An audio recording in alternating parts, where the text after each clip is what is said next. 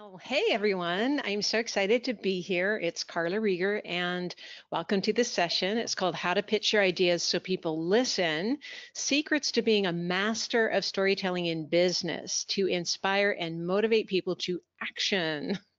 So, imagine this a large oval mahogany board table with 10 managers comfortably seated in ergonomic chairs. At one end of the board table, there's a screen, and one by one, each of the managers takes turns giving a presentation. They present their update and budget needs to the boss and do so by facing the screen, not the group, and reading every single word from the slide. Throughout their presentation, they do not remove their eyes from the screen once and make no attempt to engage with the listeners. At the end of each presentation, the presenter asks if there's any questions, usually only one from the boss. It's the same question he asks each presenter. It's about when their particular part of the project will be ready. Clearly, the boss wasn't really listening, and secretly, many others in the room are texting under the table, bored to death. Then Ryan steps up. He addresses the group, not the screen. His slides contain a few words and many images to describe the user experience of their company's product. Ryan tells the story of talking to each of them, what was working, what didn't, and then he proposes two solutions for fixing what didn't work and the budget necessary to do that. No one except Ryan ends up getting the budget they asked for. So this event just happened last month. I was in the room. It's so very common to see that. So I'd be interested, type yes into the chat if you have seen people give presentations like that, like they're talking to the screen mostly using just facts and concepts and no stories or examples. If you have, it's very common. So yeah, you could just type a yeah, Y quite, or yes. quite a few yeses coming in there. Okay, good. Yeah, it's just like we see other people do it, so we do it, but it's really not the best way to engage people. So if you want to stand out at meetings and get people to, you know, buy into your ideas, add more narrative elements to how you speak. And and so that's kind of our focus here today. Now, here's a brain scan of a person listening to concepts versus stories. I thought this was interesting. Our brains are hardwired for stories in a way that they're not hardwired for facts.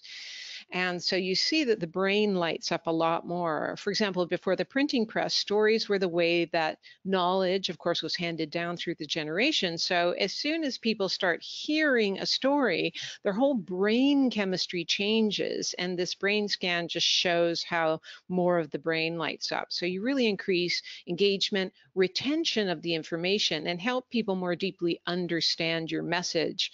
So whenever you communicate in story form, people do tend to remember remember it, sometimes for years to come.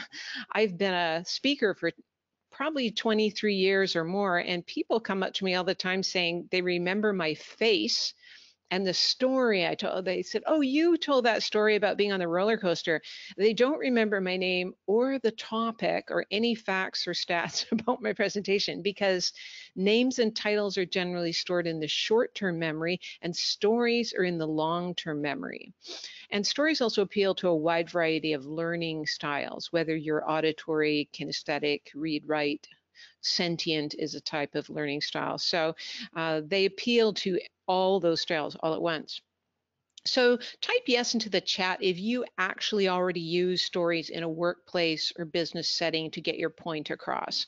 I'm sure some of you do, so I just be curious uh, to type yes if that's true for you and they can be short stories like little anecdotes you know long kind of examples case studies that kind of thing so i'm sure yeah. you do yeah we're getting some yeses a couple of yeses but less than uh, than the previous rounds okay good to know yeah so i just think the more you do it, the more you stand out in business. And it's not that hard to add to your presentation. So here's a number that I'll ask you to type in. Which situations have you ever used stories? So you just type the number corresponding to that particular situation, like a job interview. So you're talking about you know something that happened like a challenge you overcame at a previous job so think about that if you've ever done that you would type one uh, you would type two if you've ever had to pitch your idea at a meeting and you decided to throw in a story like a case study a user example, that kind of thing. So you could type two there. Type three if you've ever done it, if you had to sell something to a potential customer where you talked about how, you know, a, a customer now is using uh, your product or service and really had a lot of benefits from it. Uh, number four might be a networking event. You know how people say, So, what do you do? And then instead of giving them a big, sort of boring list of facts about yourself you actually tell a little story like you might start with oh you know how people find you know this problem? Well i help solve that problem. So maybe you've done that would that would be number four. Number five would be giving a live or online presentation like this kind of if you've ever led a webinar like this or led an online meeting or you had to stand up and speak uh, kind of a formal presentation that would be number five. And number six is in social media profiles. So some people like seeing a linkedin profile instead of well they'll list a bunch of facts about themselves but then they'll also put a story of how they helped somebody solve a problem right? So just uh, put your number in uh, it could be many numbers, right? Maybe you do many, or if you don't do any of this, then don't feel you don't need to. You could put zero, but uh, see what we get there. Or yeah, not that many people have have been doing that, or maybe you don't remember. That can also be true. so here's our agenda. So we're going to talk about the benefits of using stories. I've talked about a few, but if I'm going to ask if you have some, you know, as a listener that you've noticed, uh, how to choose stories to tell. So, you know, a lot of people think, well, I, I don't want to, you know, choose the wrong story. So we'll talk about that definition of a story. A lot of people think they're telling a story when they're not telling a story. It's just a list of chronological events. So we'll talk about what it means. And comparisons and examples are forms of stories, and they engage the brain a lot more than facts and stats. So we'll talk about that. Uh, how to use it in a pitch, so an example, how to use it in a story in an interview. I'll give you an example there. And crafting a personal story to tell. Now, these are useful, say, in a job interview, or if you are giving a formal presentation or you're a team lead on something and people want to know a bit about who you are, it builds the like, know, and trust factor. Uh, of course, in any kind of sales situation, that's useful. And, and how important it is to have some kind of structure to your story, because if there's no structure, then that's when you get like a boring story, right? and then delivery do's and don'ts, and then just a few further resources for those of you who want more. So what are some benefits of using stories versus facts and concepts? Feel free to add ideas to the chat if something comes up. We've talked about a few. So for example, it's a way, as we said, to build engagement. It makes you more memorable. You will stand out if it's a job interview or if, you know, you're one of several people standing out at a meeting, giving a presentation, people will wake up and stop texting uh, because you're talking in story form. It builds rapport more quickly with strangers. So always kind of fun to throw a little anecdote in there if you're talking to a stranger suddenly and you want to get to know them quickly. It can help you explain complex information more quickly, which is really useful. And a personal story can act as a resume that makes you stand out from your competition, as we kind of talked about. Now, if you look at a lot of the great leaders in the world who speak, storytelling does set these particular business leaders apart. Steve Jobs, Sheryl Sandberg, Jeff Bezos, Elon Musk. If you watch their presentations, you see they're full of stories. And if you watch any kind of TED talk before, the ones that do really well are full of stories. So it just goes to show, you know, those who want to stand out from the competition know this secret, this trick. Now, just a little bit of background about me so you understand uh, who I am. Uh, I was actually back in university hired by a training company to lead youth leadership events. So they actually trained me to engage up to 4,000 people at one time and often by using stories was the way they taught me. So I've been doing this a long time.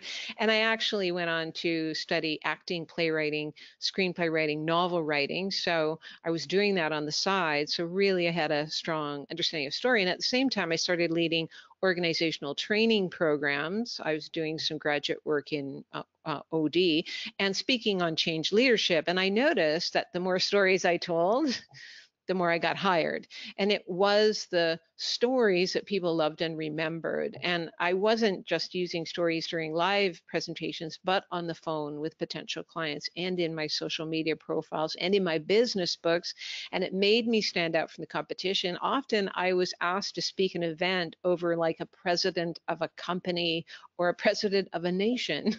or a best-selling author just because they knew that I would keep people more engaged because of the story element. So and so much of what you see in business is really boring and people really appreciate it when you can just add like one story that supports the point you're trying to make now about 12 years ago people started asking me to help them create like a brand story for their business or to tell stories during pitches live and online presentations and i've been doing that ever since now our company MindStory Academy does all that for people and uh, it's sort of an interesting and weird career choice. And so you might be, I'm going to be asking you a little bit later on what made you choose your career direction, because this might be useful to turn into a story. So for me, when I was about 17 years old, I was a banquet waitress at a university conference center. And I loved this job because I got to see conference speakers when most teenagers don't get the chance to do that.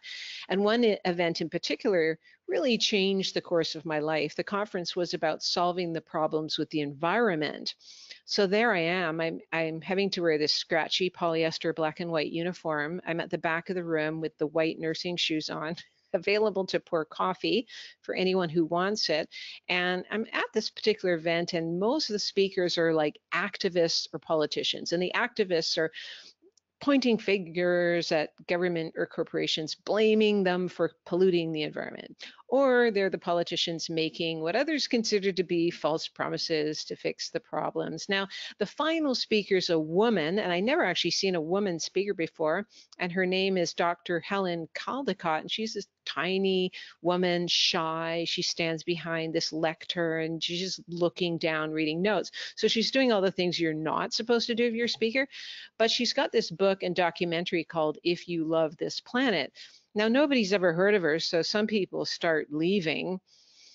But she starts with, you know, we can tax polluters and accuse politicians of lying, but that puts us at war with each other my team and I have put together community action guides to clean up the environment at the grassroots level, and it's very easy to get started. So then she starts telling stories of how these guides are making a difference, uh, like some in big communities, some in small communities around the world. And they're very engaging stories. So people stop, turn around, start coming back to the room, I notice.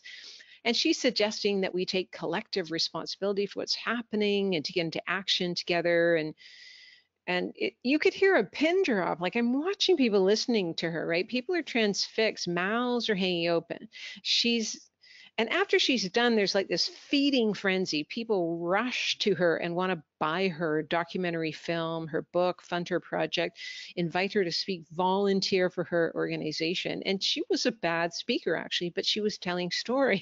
So it woke people up. It was interesting. And that day I decided to want to do some somehow something like that.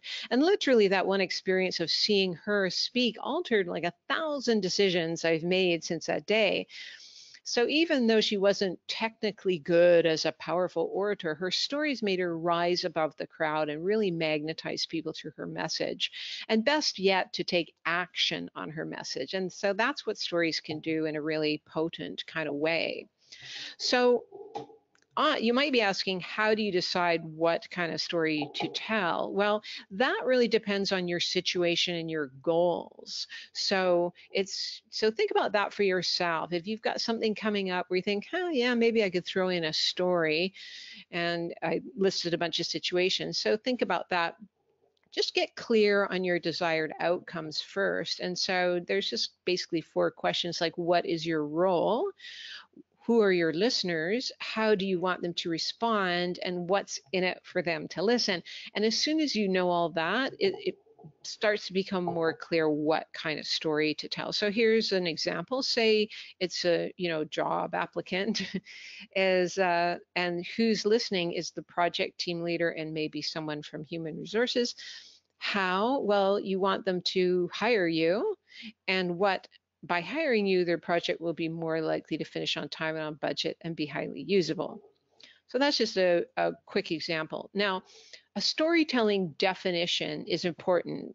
As I said, some people think they're telling a story when they're not. So a storytelling definition is narrative as opposed to logical explanation of concepts. So think about sitting around the dinner table at night with your family and somebody says, oh, what happened today? And you start telling a story of how you know, we got stuck in traffic and you went in the wrong direction. And, you know, that's a story, right? We often speak in narrative form actually a lot. And then we get into business and we stop doing it. It's really interesting. So, a second definition is linked events that unfold over time with enough what's called psychological realism to create narrative transport. Now, what that means is if you've ever watched a movie and somebody's creeping through a dark house at night and there's strange sounds, and you start feeling nervous on behalf of the actor in the film, the director is happy they've created narrative transport in their listener. You start to become almost emotionally invested in the person in the story. So that so that's what you want to go for. And three interactions of characters who possess minds and have motivations. So this could be people, but you know, if you've got kids and you've probably seen, you know, cartoon characters that are a square and a block and a triangle interacting, well, people get engaged by that, even though they're not people. So, so let's think of about elevator speech comparison. So those are useful, say, if you're, you know, at some kind of event, someone says, so what do you do? So let's say here's one that's not a story form that people think is a story form. Somebody might say, well, I have a master's degree from Caltech and have worked with big companies like Enterprise Limited and TRT Industries, helping them implement fully integrated CRM systems that are compatible with all major database applications utilized by Fortune 500 uh, companies.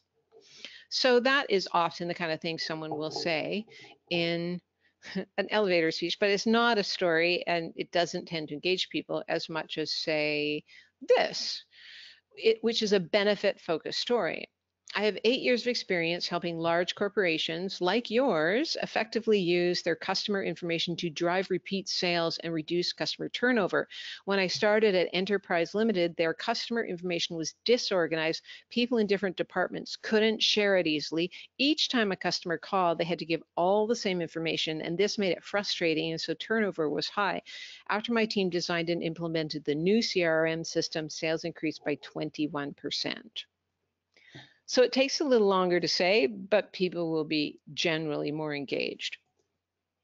So think of a recent, um, you know, status update you gave at a meeting or an interview you did, or you pitched an idea, or actually if you did a formal presentation or had a sales conversation. So what uh, so just think about this question did any part of it seem unengaging right? Like you can tell when you're talking to people, they seem interested and all of a sudden they start to glaze over, right? So it's good if you see people start to glaze over, uh, then do this little tactic. So think through any part of your this upcoming or past situation and see if you can add this little formula, which is fact plus meaning plus story.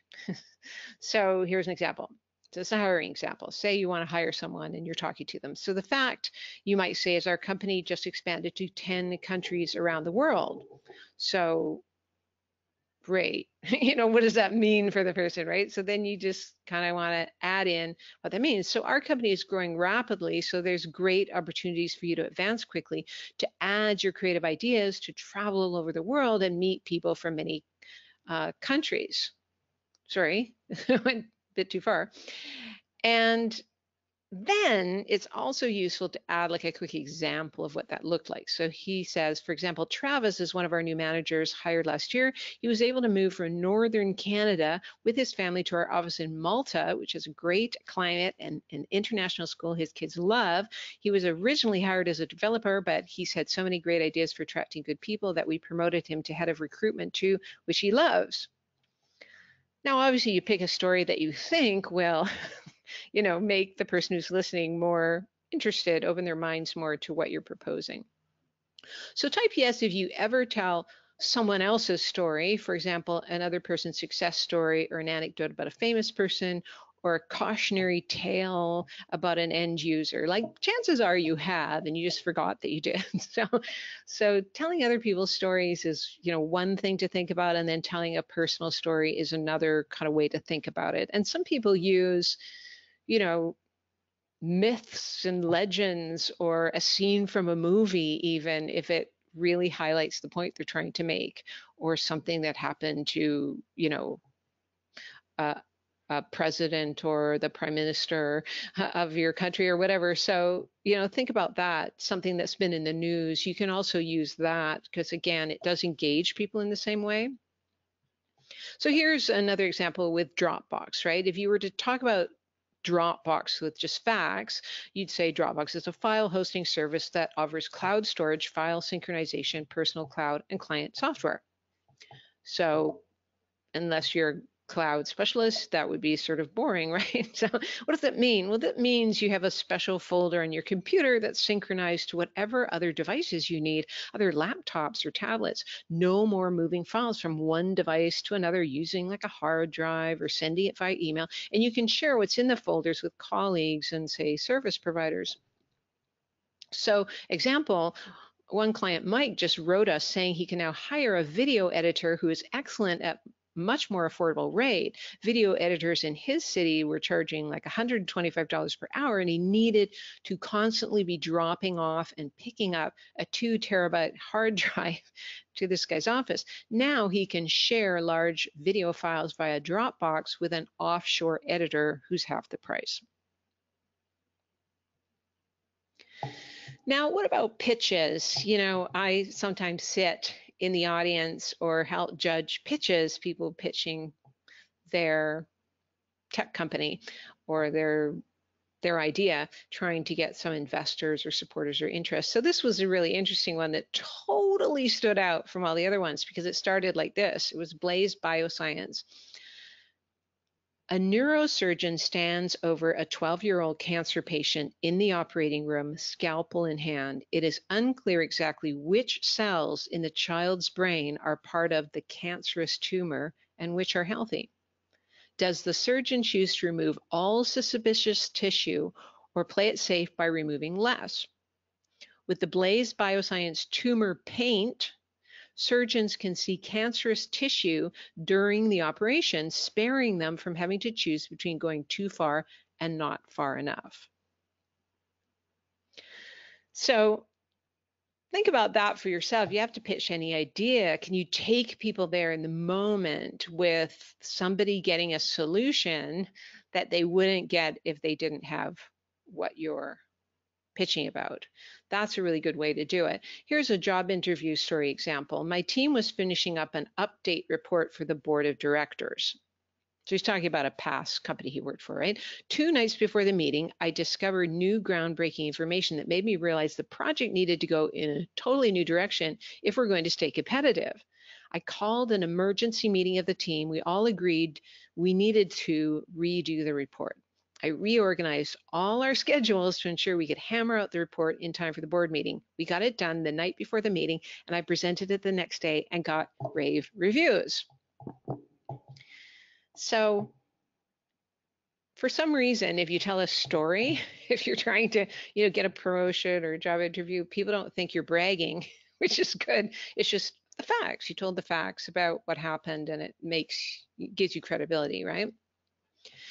Now, stories and anecdotes for formal presentations uh, are really useful, live or online, kind of like what I've been doing here. So think about how you can add sort of more examples and stories if you do any of that kind of a thing. Now, the fun thing to do is if you know your audience quite well and you know something they're into, you can actually even type in something they're interested in or the topic you're talking about plus story into Google and you'll find, you know, public domain stories and you can use them if you like them and if they haven't been told a million times before, or you can actually type in the word anecdote. An anecdote is just like a short form story that's usually funny. And sometimes those are good things to start uh, a presentation off with.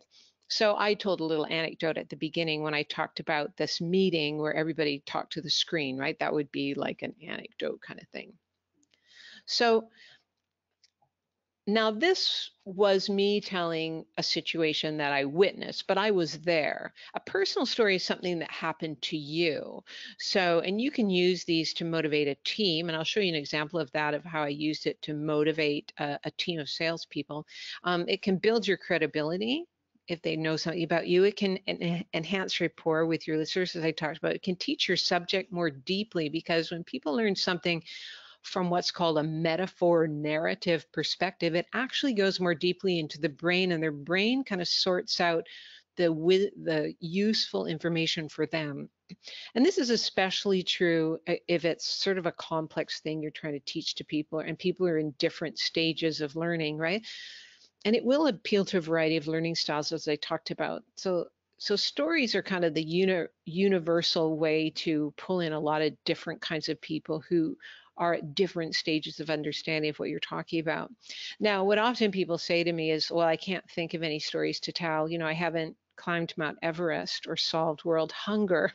so you don't have to have had like amazingly huge things happen to you. Often it's the little things in life that are the most interesting and the most relatable to people. So I'll be asking you to think about that for yourself if there is a situation which you think maybe a personal story might be useful. And you know people sometimes use this also if they have to speak at a funeral or a or a wedding or something. So how to find a personal story to tell is to look for story triggers. So what's a story trigger? Well it's one of four things. So look in your life. So think about that now and make a note if something comes to mind, a challenge you overcame sorry, that should be a challenge you overcame, not a challenge you overcame. An inner dilemma you finally resolved. So you want to look for sort of crossroads in your life where you took a new direction, right? So an inner dilemma you finally resolved or a new direction you took, a conflict you resolved with another person or group, and the fourth one is a great discovery you made. So anything in your life where a lot of things changed, you know, it could be the birth of a child, it could be getting married, it could be getting a new job, it could be taking on a new project, it could be ending a big project, it could be a time yeah, you overcame this huge challenge at work, you know, against all odds and triumphed, right? You want to tell a story with a triumph at the end if you're going to use it in business to teach. Now, you can tell a cautionary tale too, and that that is, you know, something you did and it was a mistake and things went badly, so don't do that, right? That is a way to do it. But um, if you're trying to do anything that opens minds to your ideas, you don't want to tell them about how something didn't work out and it still doesn't work out and never will, right? You just want to make sure that it's got a happy ending to the story, right? So here's the place, one place to look if if you can't think of anything. So to zero in is where are you in life are you already adventurous? so where you take risks. Like for some people, a lot of people don't like public speaking, for example, but maybe you do it and you're fine with it, right? So it would be public speaking maybe as an area you've overcome some of the initial challenges that a lot of people have, or maybe networking. You're just really amazing at networking.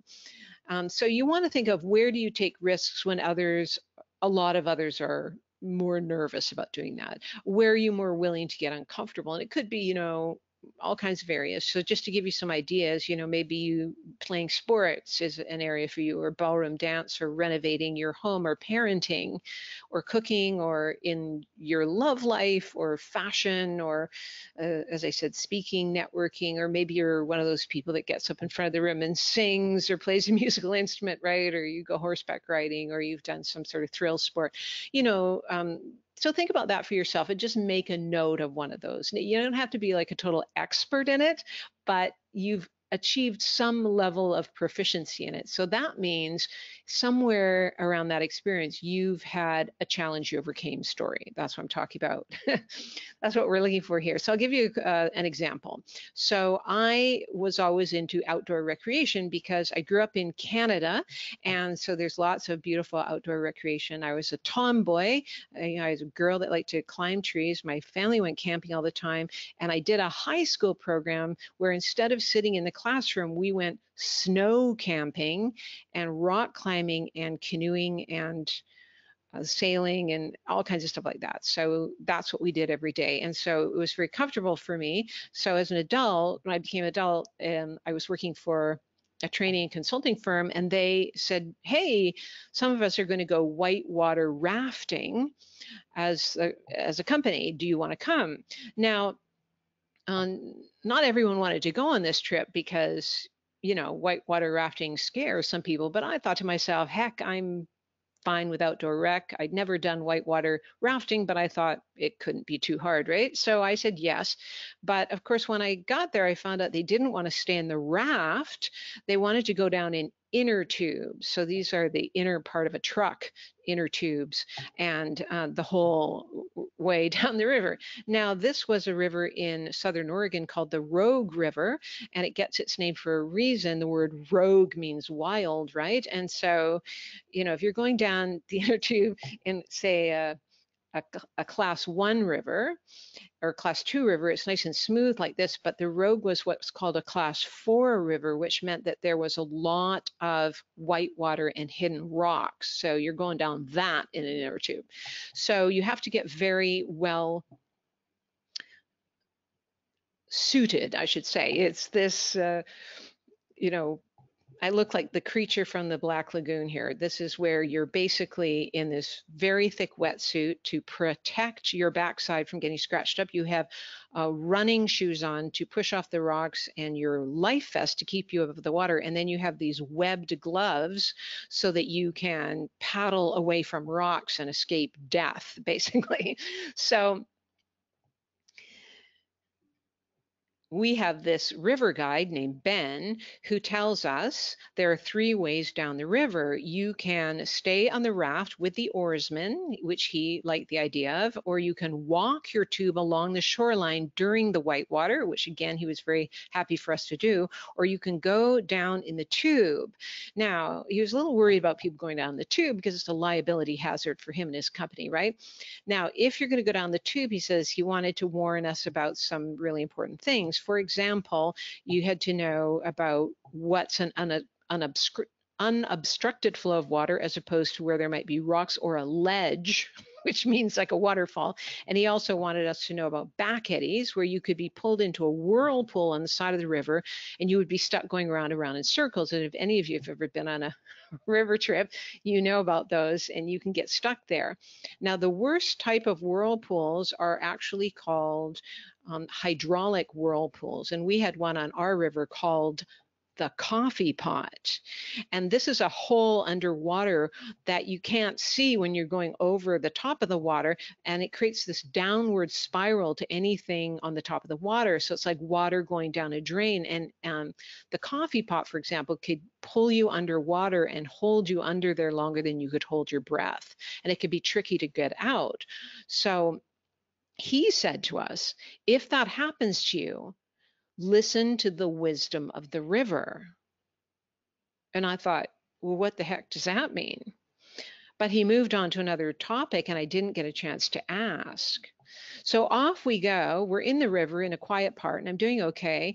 Um, but then I see a number of people paddle over to the shore and get out of the water. Apparently, they're going to walk their tubes along the edge of the river because we're coming to a wild part of the river called Mule Creek Canyon, which is beautiful. And it's these high rock walls that make the water speed up. So it's where the rapids can go up to class five. Now, I've heard tales that if you've tubed the canyon, you're in a league all your own. And it's a it's a status symbol, right? So I look and I, and all the people left in the river are the daredevils, all the men, all the women have gone out of the river. And I think, um, I'll do it anyways, right? Can't be that hard. And I see the first man go round the bend and we can hear these blood curdling screams from him you know echoing through the canyon. So i think oh gosh if he's freaking out i should probably get out. So i start paddling to the shoreline. Now one of the other guys who's in the water says to me yeah you better get out of the water. It's not for women. Now he could have said anything else to me and I would have still gotten out of the water. But because he said it's not for women to do, it somehow triggered me because, you know, I considered myself a tomboy. I didn't let being a woman or a girl stop me from doing these kind of things. So, you know, it went against my self image here. So now I had to do it. Um, and so he goes off down the river. I hear him kind of freaking out, but now I'm stuck in a back eddy and I can't actually get into the river and I can't get out of the river. I'm stuck going around and around, stuck in the reeds. And as I'm stuck in the reeds, the last of the river guides goes by. Now, there were four rafts spaced out amongst all the inner tubers so that the last raft is behind the last inner tuber and to rescue you in case you need it. Now he's gone. And so I had several reasons to get out of the river. I'd never done it before. Everybody had gone ahead and it was really hard to get back in the river. So I had to really want this, but I thought I really want the excitement of having say said I tubed the canyon uh, instead of just walked it. So I pushed really hard and I grabbed branches and, and, pulled myself really hard back out into the river, the Whitewater, and I start getting pulled downstream into the intense rapids. Now my heart is pumping like crazy. Adrenaline is coursing through my veins. I have my webbed gloves. I'm paddling as hard as I can to slow down, but it's not helping. And I see the last of the rafts up ahead, and it's one of the river guides, Dwayne, the last river guide. Now, on the raft with him is a woman named Amy, and she didn't even want to be on the river trip. She just came because of her boyfriend, one of the daredevils in the group she was just sitting there trying to look good throughout the trip. So she was wearing her Versace sandals and her polka dot sundress and her little sun hat. And she didn't want to walk along the shoreline for that part of the rapids because she didn't have the right footwear. And she kept taking off her life jacket because it didn't look good with her outfit. So it's Amy and Dwayne heading down the most dangerous narrow passage of the river. And he looks behind me and he sees me about 100 meters upstream and he's clearly shouting at me, but I can't hear him. And he's pointing to the other side of the river that I am on, as if to say I was on the dangerous side of the river and I better get over. So I start paddling like crazy, trying to get traction, but I can't because the water's moving too fast.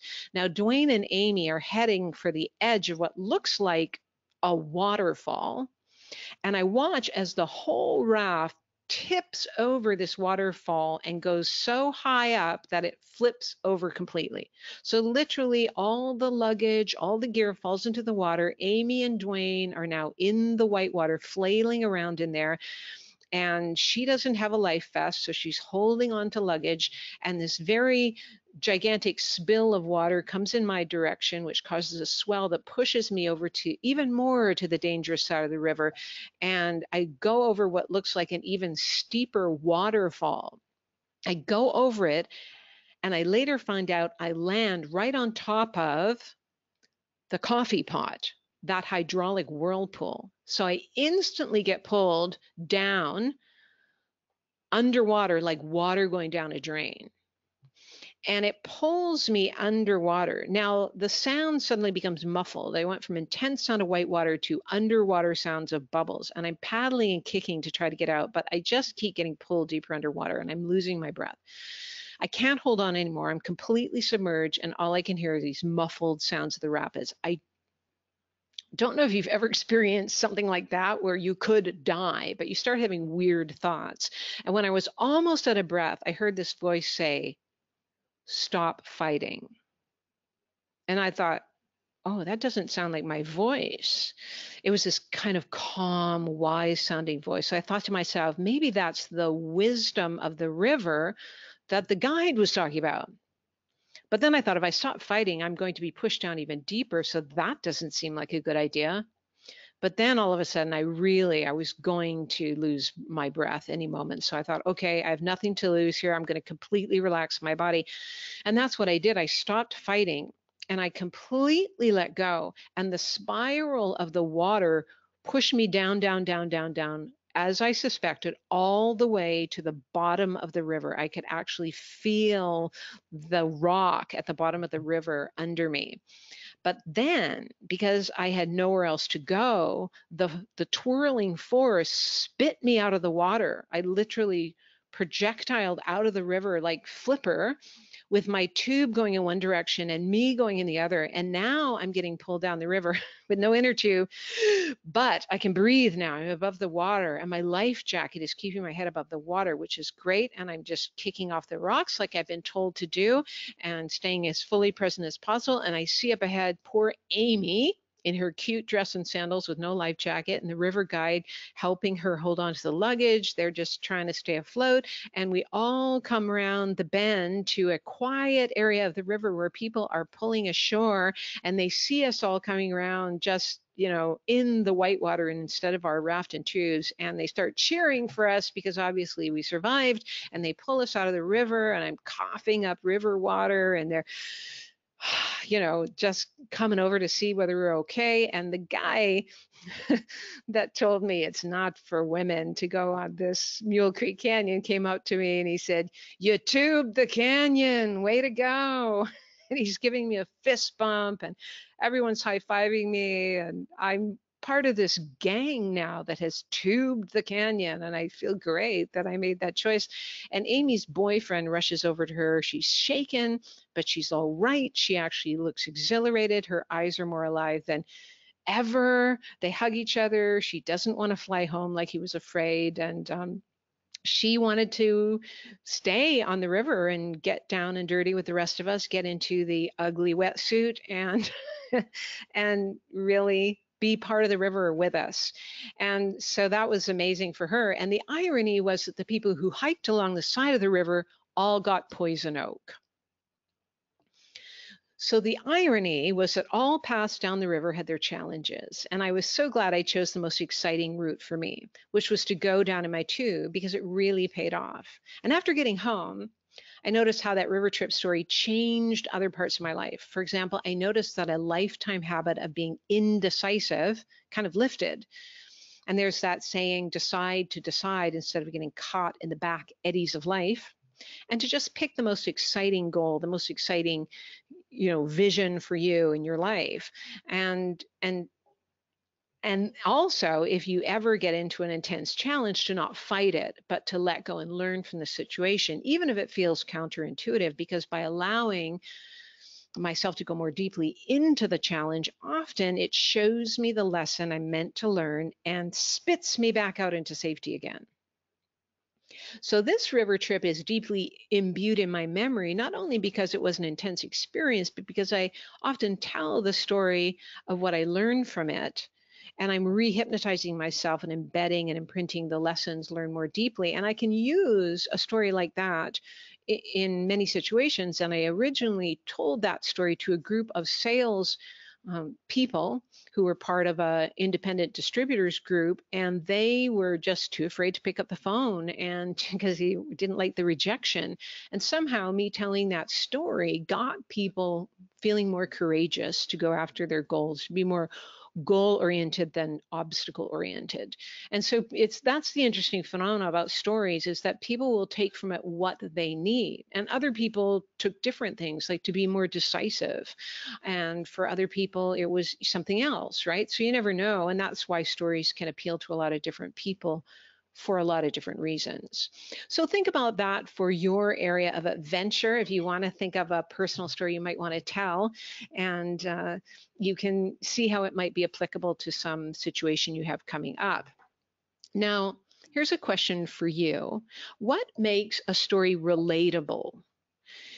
and so to think about that for yourself and if any idea comes to mind you can you know type it into the chat i'd just be interested to hear um, now, while I was considering this particular question, I saw this website. Maybe you've seen something like this. It was called the six most rewatched movies of all time. so apparently there's a list of movies that people watch over and over and over again. So think about that for yourself. What movies have you seen more than once? Now, obviously there's many movies that we would never see again, but Star Wars is on that list, as you can see from the image here, but see if you can think of any of the others that are in the top six. Feel free to type something into the chat if it occurs to you. So this was what was on the list. Star Wars, The Wizard of Oz, The Matrix, Groundhog's Day, Gone with the Wind, Titanic. Who would have thought? Right? And and probably the one you thought of is on there too. It's a fairly big list. But so here's your here's my question for you is why why do those why do people rewatch those movies as opposed to others well, some of you may have heard of the hero's journey, which was mapped out by myth expert Joseph Campbell. He studied myths and stories in all cultures of all time in history and found that humans basically tell the same kind of story to themselves at the very core. And when stories are told like this, in this structure, they program people, like subconsciously program people for good or bad, by the way. So it's very important what kinds of stories you consume and tell, because they will, as I've said before, open people's minds to new possibilities in great ways or make them not go in a certain direction. So you have to think about that. And it's not to say that a good story doesn't include negativity or conflict or struggle. That's normal but stories that include the hero's journey, this structure here, as you can see, where uh, number one, it's like the ordinary world, and there's this call to change is number two, and then usually there's this refusing the call, and then the four is the meeting the mentor, five is the crossing the line, six is facing trials and enemies. So just think about, you know, Lord of the Rings, you can see this structure.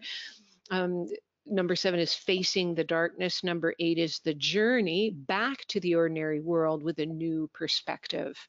And then number 10 is you return with the wisdom and the resilience to tell others. And, and I really think that being a business communicator is a form of, you know, um, a, a hero's journey. And so and we all are living these heroes journeys all through our life as we're if you're managing people or you're handling a very complex project you're probably going through these stages eh, unless you get stuck in which you don't make it through right to number 10 but it's really useful to think about that when I consider what's called your short ascension story. And you might have many, um, that you might use in different situations, but there's a short version of this that I created.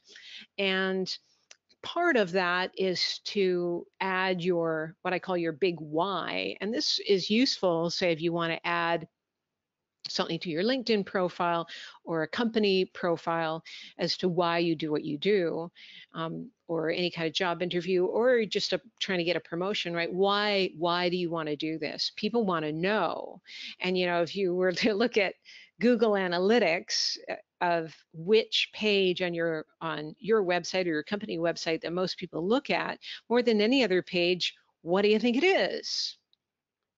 Now, most people think it's the home page, but that's not true. It's actually the about page because people want to know what you do, how you do it, but more importantly, they want to know why you do it. so, what's your mission, vision, values? People are looking for a values match, right? And so, that stories can do that. Um, heroes' journey stories uh, help you communicate to people your mission, your vision, your why, why you want to be doing whatever it is that you're communicating about, and the universal human values that you're living by that they might relate to. And that's really important to people, maybe not consciously, but unconsciously. So be thinking about that if you share uh, any kind of personal story, if you can put in your values into that. And and as I said, you know, adding it to social media so people kind of get a sense of who you are more at the core uh, level of values. Now, um, so just think about that for yourself right now. Jot down a few notes if you want to. What is your why? a lot of people, they don't really think of this. So, for example, what, why this role that you're in? What's important to you about it, as opposed to all the other roles you could have in your work life. Why have you chosen this one? Uh, right? There must be some core underlying value that drove you, right? Or it could be why this organization or company that you work with or if you have your own business, why this particular business? You know, what is it as opposed to all the other ones that you could be part of, right? What was it? And again, it's usually a values word, right? That you you know that has good culture people are friendly people get along there, there's this creativity and innovation that's supported. Um, i like the people right? People say things like that all the time. Or i get you know it's challenging my you know capacity to solve complex problems, that kind of thing. And then the third way to look at it is what is your ultimate vision that this role is helping you achieve, right? So sometimes people are doing things because, oh, it allows me to live in this certain country or live in this certain neighborhood or provide the kind of income for my family that they want or do a hobby or something. So all those things are, are relevant. So just be thinking about that and see if anything comes to mind for you and see how you might throw that into a story. And just so you, I'll do a brief example of what I mean by a story structure that people are attracted to.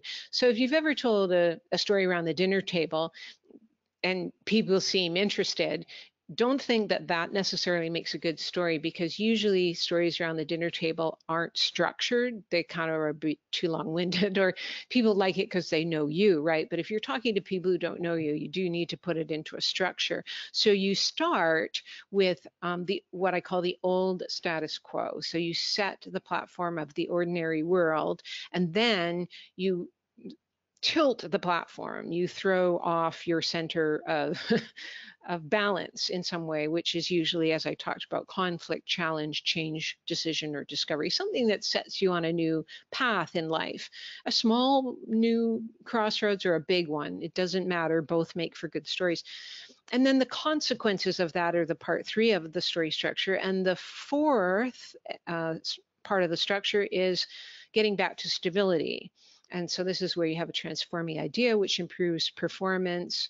And then you get this new platform, this new status quo. So this is useful if you wanted to tell a case study of somebody who's successfully using your product, your service, right? But it can also be a personal story of how you solved a problem and how you'd be good for a certain job, or how you've seen somebody else solve a problem in the past and how you would like to propose that for a project you're working on now, right? So I'll just use this structure. I'll just, uh, one of the reasons I told you the river trip story is so that I could describe this particular structure very briefly here. So to the way I set the platform is uh, it's just by saying I was comfortable doing outdoor recreation and that I'd been a tomboy growing up.